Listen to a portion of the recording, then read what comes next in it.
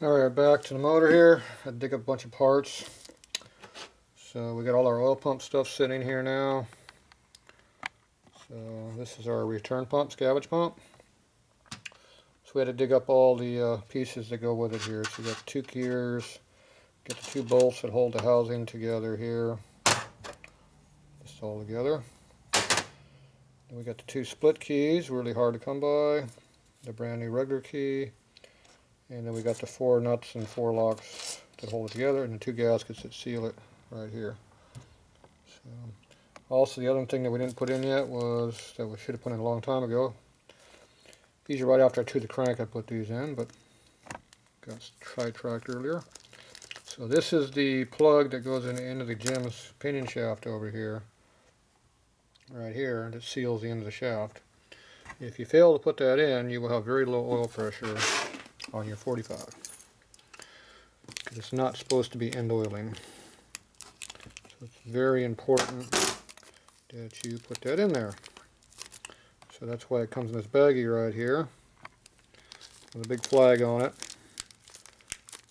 Triple layered packed. Telling you to not forget to put your stupid darn screw in there. Now Harley, they just have a press and plug that goes in there. It's not a problem, but for some reason, Jim's want you to lose it. So they give it to you. Now this one here is, is uh, solid. It doesn't have a hole in it. Your big twin ones will have a restrictor plug in. A little orifice in there, a little hole. This one is solid. So you definitely got to remember to put that in there.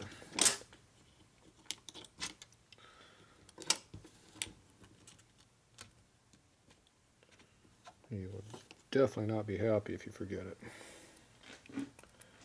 Okay, so that just drops in the hole there. And tighten it up.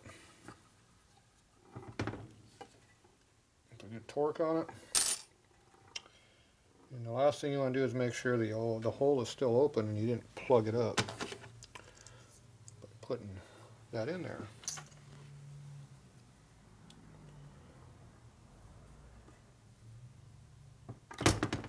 A little bit too big.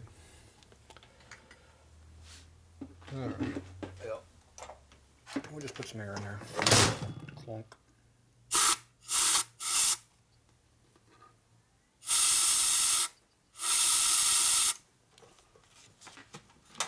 And I can hear it blowing through. I always like putting something in there just to make sure.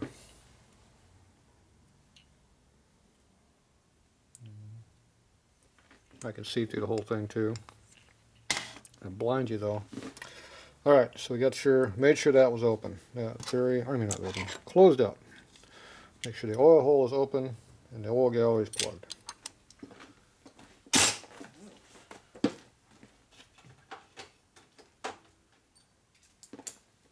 So if you don't do that, you will be sorry.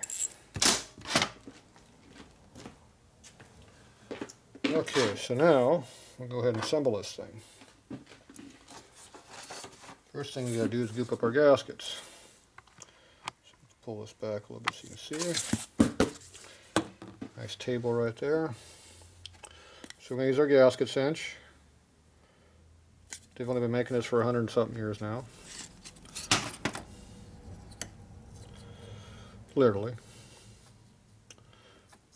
They changed the formula. It's not yellow anymore. Now it's used to be mustard yellow. Now it's kind of opaque, clear.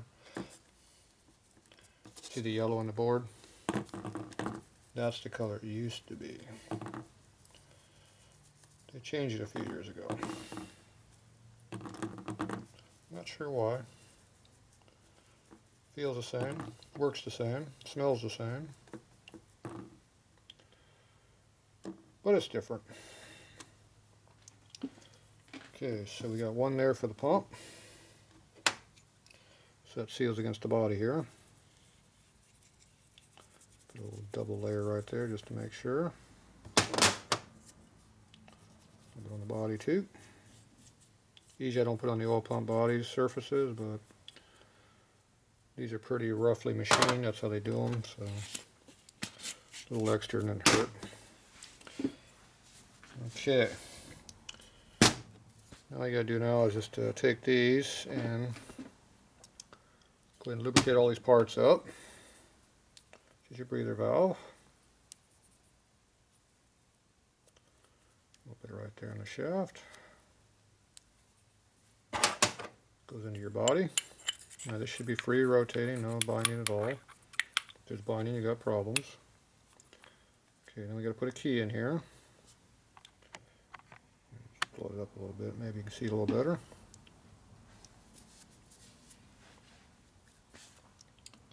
Now this takes a little short stubby key, not the normal long one that you use on regular oil pumps. That'll be your non-twin cam guys. otherwise known as early and late model keys. Alright, so the key goes in there like that. Then you take the gear that has the keyway in it, the camera go to. Now this also has a split lock. See the groove for the split lock goes in there? So if you put the gear on like that, you cannot put the lock in. If you put it like that, you can. Now the lock is there to keep the shaft from coming out of the hole as it works.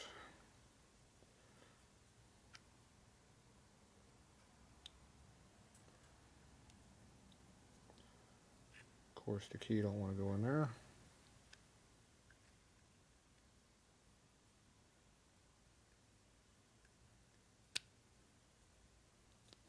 Nope. Key is being stubborn.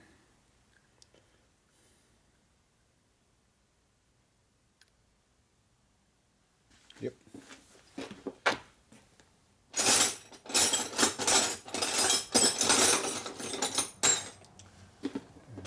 Screwdriver is missing. Here it is. Go the other direction. So what I try to do is I try to get the key to stay down inside the keyway. Yeah, you put the gear in it. The problem is, is it's not cooperating.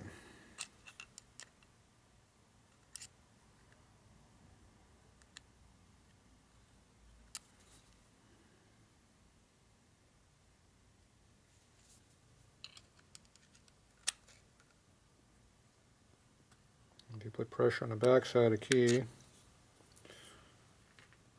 easy get to go in.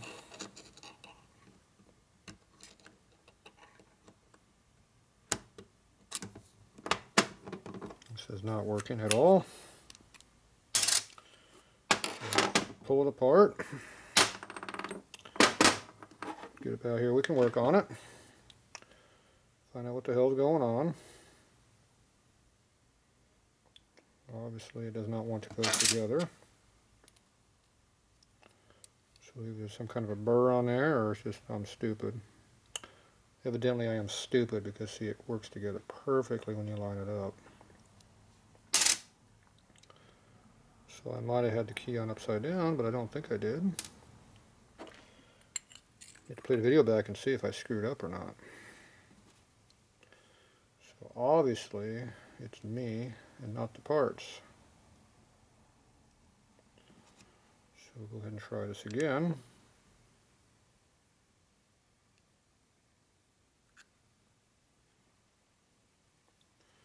What a shocker, I'm having the same problem.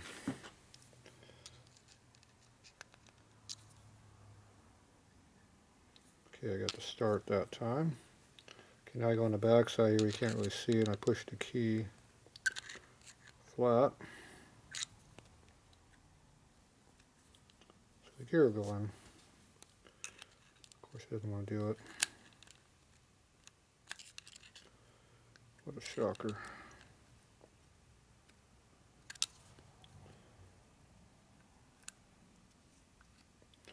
There it goes. What the hell was going on? So I pulled, I pushed the plunger in deeper, which bottomed the key against the back of the housing. Then the gear slid right on. So whatever. It was screwing with me.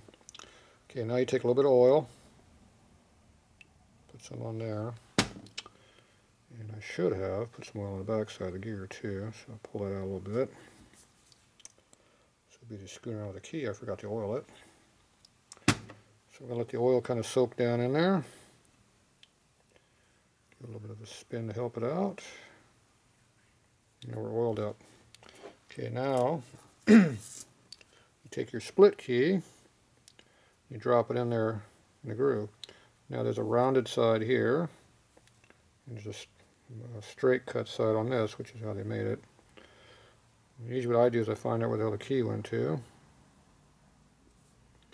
and I put the key, I mean uh, the split key right on top of the other key, so it holds it in. And the square side goes up, round side down. That way it's a good sharp edge. Okay, when you get in the right spot, like this, goes in there all the way. Should have about this much clearance up here. And we still have some free play in the system here, see. Once you get the cover on that, can't come out, but right now they can fall out especially when you hold it like that. Okay, now I take the other half of the pump, a little bit of oil on it, take the other gear, now this one doesn't matter which way it goes in, kind of rotate a little bit, stick it in there.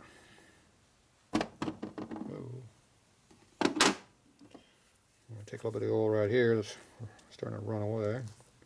Stick it in here in the back side. Make sure there's oil all the way around that whole surface. Put a little more in there just to make sure.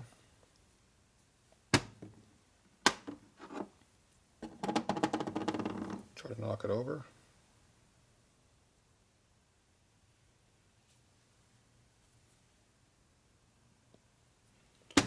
Okay, make sure everything's all lubed up. Make sure the teeth have some in there too while you're at it. You take your gasket you got over here sitting. You lay it down here on top of the pump.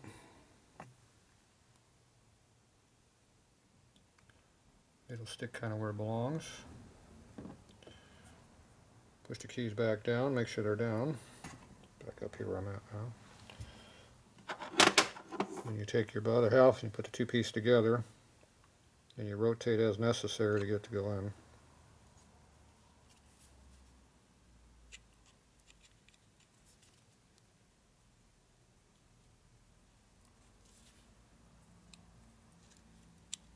Damn, nothing wants to go easy today.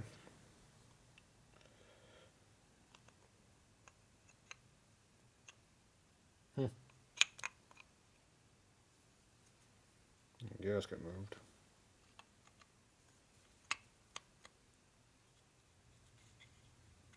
There it goes. Damn. Nothing but problems today. Of course, now I gotta take it back apart because the gasket moved. Of course, the gasket's stuck in the wrong spot.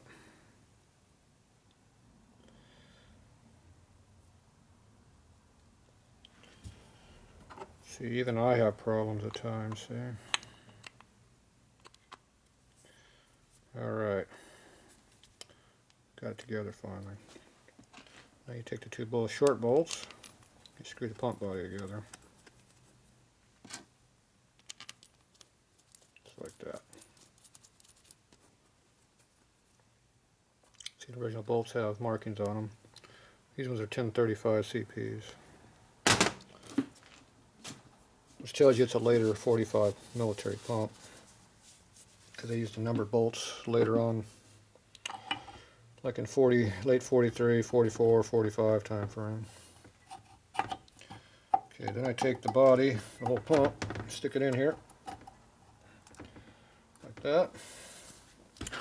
Then I go ahead and tighten these bolts on right now. I use the four studs to center the bolts, to center up the housing. Make sure the pump turns. It does shove it back out. This one fits in there pretty tightly.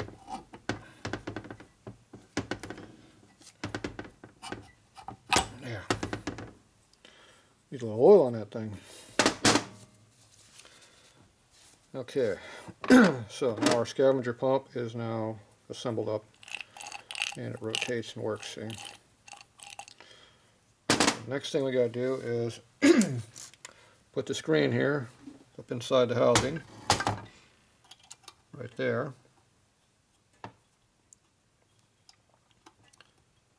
One more piece to jam up. And of course it's going to want to fall out. So usually what you can do is you can put grease in there to help hold it.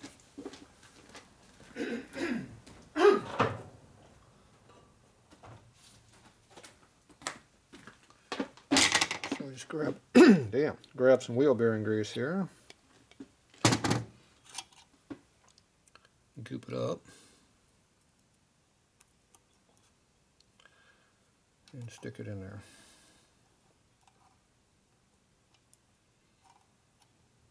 Of course, no one wants to stick to your finger, but it's the way it goes. Okay, hopefully that'll stay put for a while. You like to screw with you. Okay, now later on we're going to have to time this pump, but not right now. Uh, the way you time it is you have a you have a little hole right in here. Get where you're at. And you line it up with this body and you put the motor at the timing mark and the flywheel over there. And I'll show you how to just that in a little bit, but you gotta make sure you time the breather, otherwise it doesn't work correctly. What you're doing is you're timing this breather in here when this hole opens and closes in there. And that makes a difference for getting the oil out of the crank. Okay, so now we're going to go back to gooping up our gasket, the other one.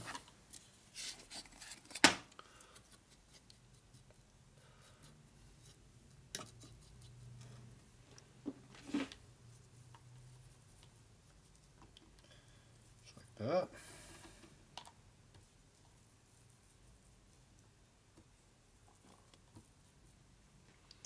A little bit of here, case.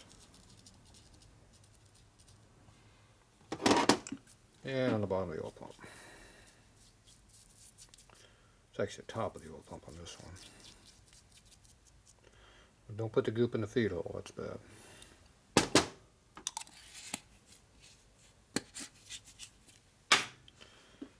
Okay, then I go ahead and put the gasket onto the pump itself.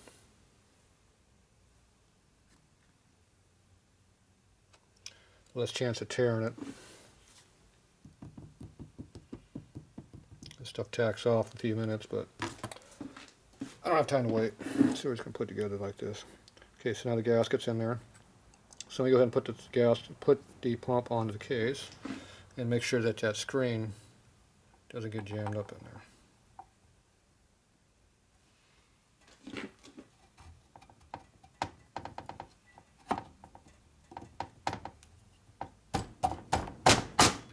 Beat it on with your hand. Or you can use a plastic hammer. Like that. Don't use a steel hammer though.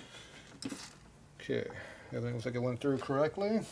The screen must still be in there, it didn't come out the other side. That's always a good sign.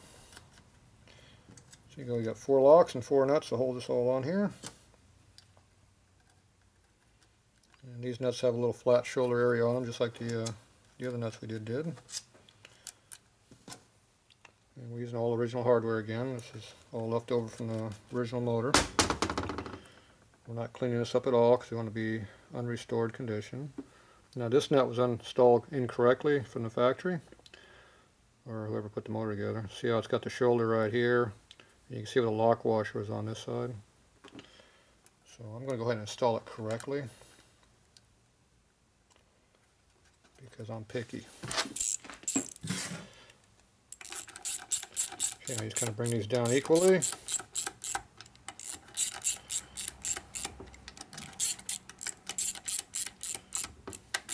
Do a cross pattern on it there a little bit. And bring the torque up.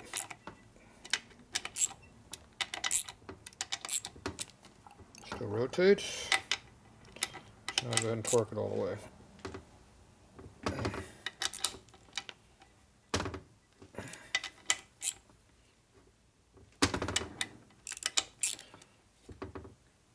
Okay, factory torque.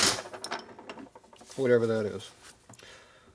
Okay, now the body pump is spinning freely. Good to go. Now this one here has the adjustable chain oiler on it. Which is this piece right here. And this screw right here has shims under it. And that's how you adjust the, how much flows out of, the, out of the tube here. The screw has a long taper on it and as you shim it up it comes out of the hole lets more oil out or you go down and close the hole up. So it's a very accurate adjustment and pretty much doesn't change all that much from hot to cold.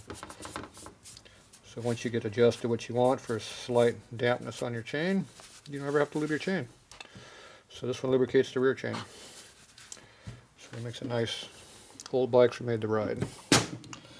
Alright so the bottom of the motor's done. I flip it over and we get the other half, and then we go squat. I forgot to put something in there I should have done. So, now you get to the back, pull it apart, and tear up the gasket probably. I forgot to insert this piece here. Get that thing out of my way. On top of the crank.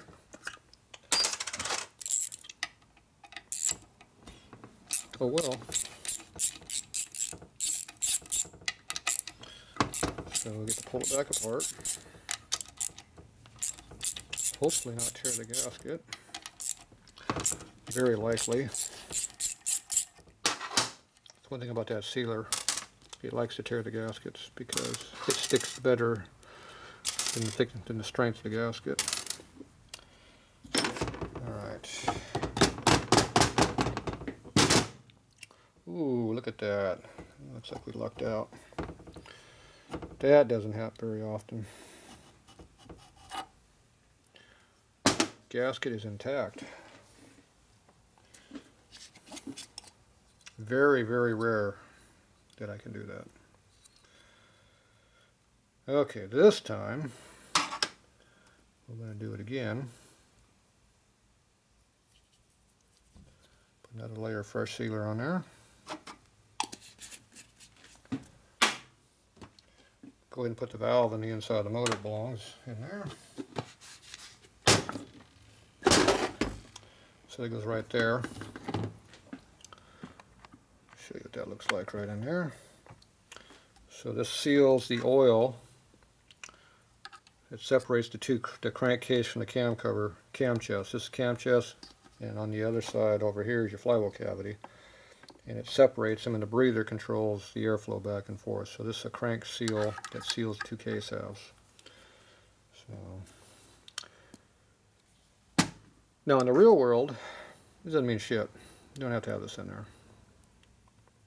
Sportsters, they don't use them, same motor. They eliminated them. They found out they didn't need it. But these motors use it, so we'll put it in there. Besides, it gives me one more opportunity to screw something up. That's always good.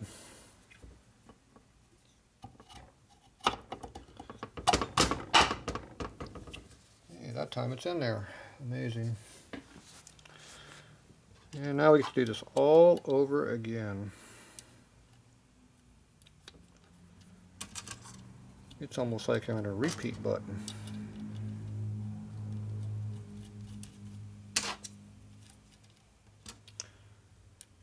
It's a good thing I saw that before I finished the motor completely up. Because I'd actually take the motor back apart to put that in there. Even though it's not needed. But if anybody only went back to look at my motor overhaul and saw it was missing, they would see I didn't know what the hell I was doing. So it's better to do it right than wrong.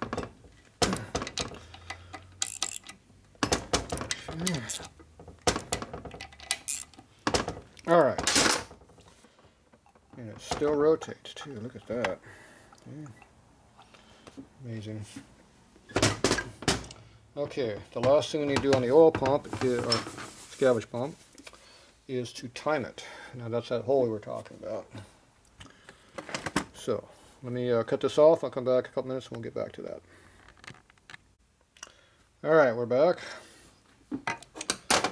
We got the rest of the parts I need to put the gear in here. So first thing we got is a little spring, goes in there. That keeps the valve in there that I forgot to put in earlier from coming out. So this is a toss up between being blown up where you can see or not see. You have to figure out which one you want. Okay, this is your oil pump gear. Now this has three, oops, we can see it, has three splines here that are equal and one big fat one. The big fat one has to match the one on the shaft.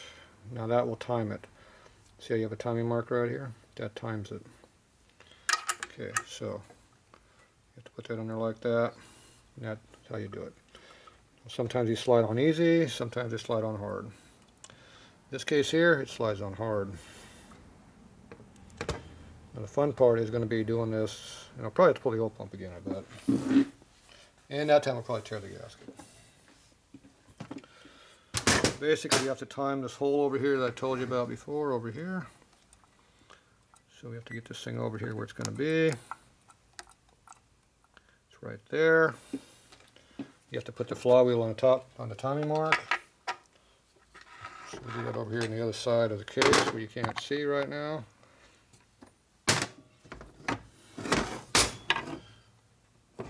Over here's a timing hole plug. You have a screwdriver. And that little notch here right there is a timing mark. So I use that as my reference point. Now if you look at your flywheel, you can kind of tell where that is by the connecting rear, rear rod is got about a quarter inch gap between the case and it when it's straight up and down. Actually more than that. Straight up and down it's got about a finger spot. So that gives me a reference point to judge over here where I need to be. I need to beat this thing down on the shaft because it's tight. So that means I'm going to have to beat it on.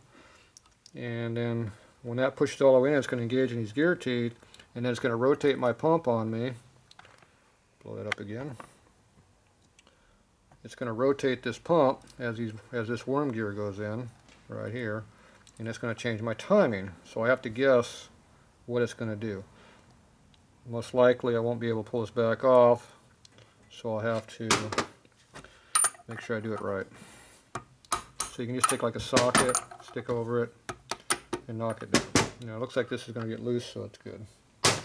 That means I want to pull it back apart again. Okay, so the crank should still be on the mark where I want it to be. That moved a little bit.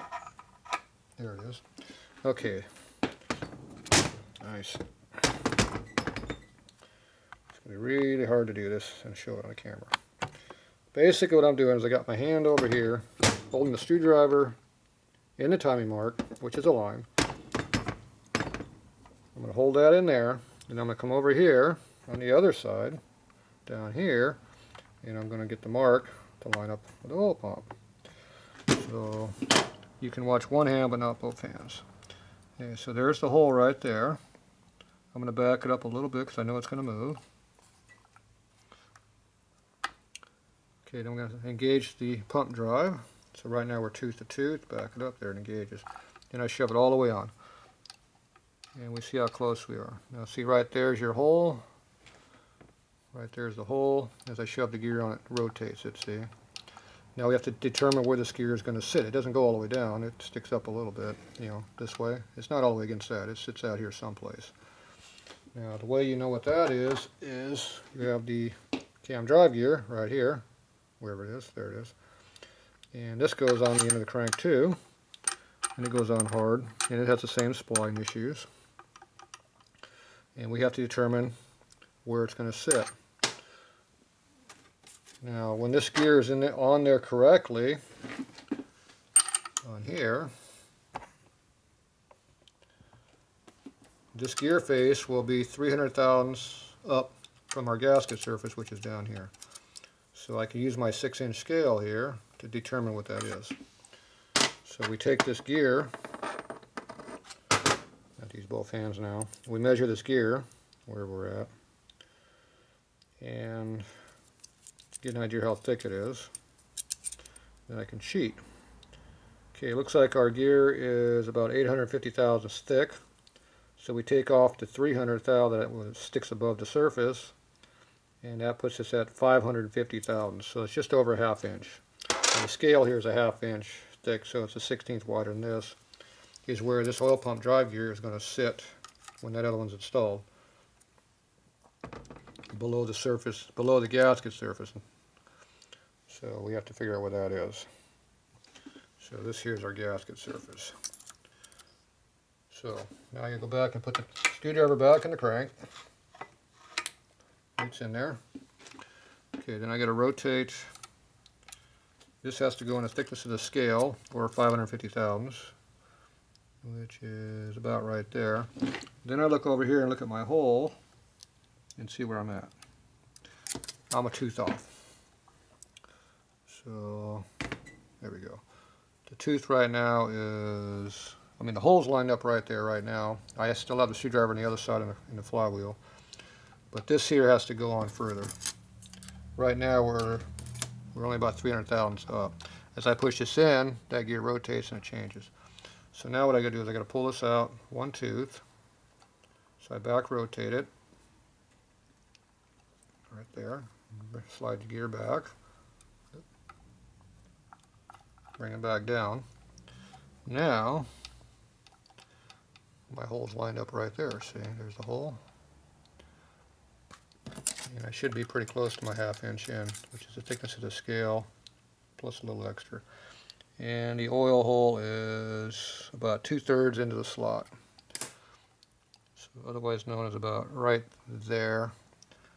So I'm not sure if you can see exactly where that hole is, but it's it's not quite even. Even's there, we're about right here. So we are now timed. So that was nice and simple, wasn't it? Okay, now once you determine where all that goes, then we can go ahead and take our gear, cam gear, and stick it on.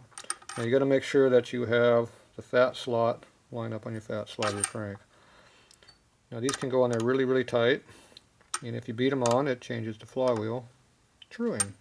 So you got to beat on them just enough to move them, but not any extra.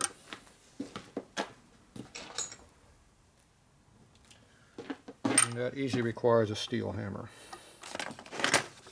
which is this one right here. There we go. So this is our steel hammer.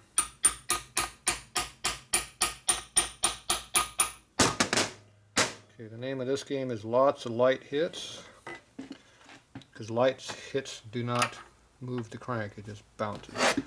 Big hits will bend the crank. So each time I hit it, it goes down a little deeper. Blow it up a little bit so you can see it. So each time I hit hit on this, it moves a little bit in, see? So just lots of little hits. Don't get carried away, just keep moving a little at a time. Eventually it will be in there where it needs to be.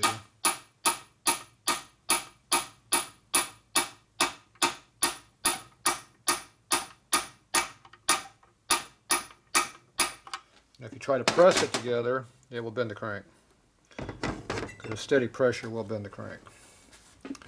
These light little hits are not going to bend the crank. If you tighten nuts down like I do anyway.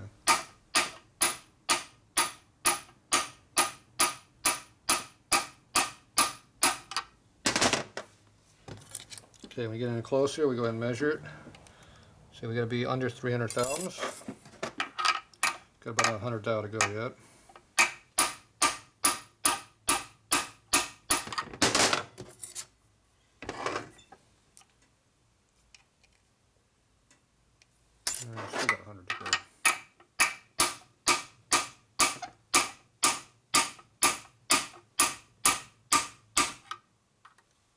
Should be getting close.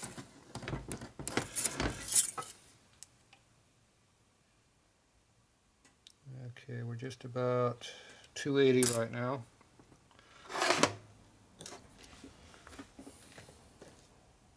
Now if you look your cam cover here, damn it, keep doing it backwards. That dimension that we just did is the height of this bushing from here up to here.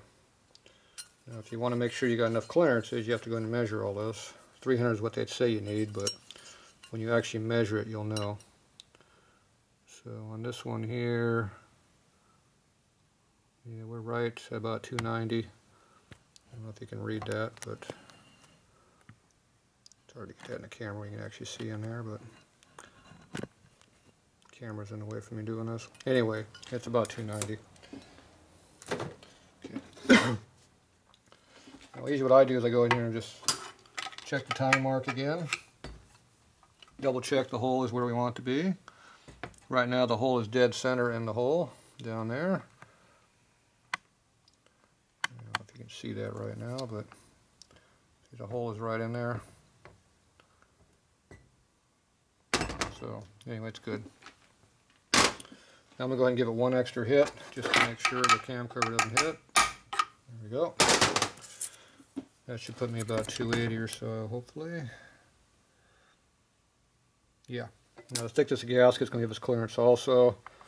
So we have multiple extra clearance. We probably have an extra 20 to 30 thou in there right now. Now over time, this oil pump will shove this gear out a little bit probably. If it's under really tight, it won't. But right now the timing's good. Now sometimes you have to go in there and cut the backside of the gear away in here to get the oil pump to come in where you want it to be. Yeah, that gear has that big shoulder in there. Up here we can see it better.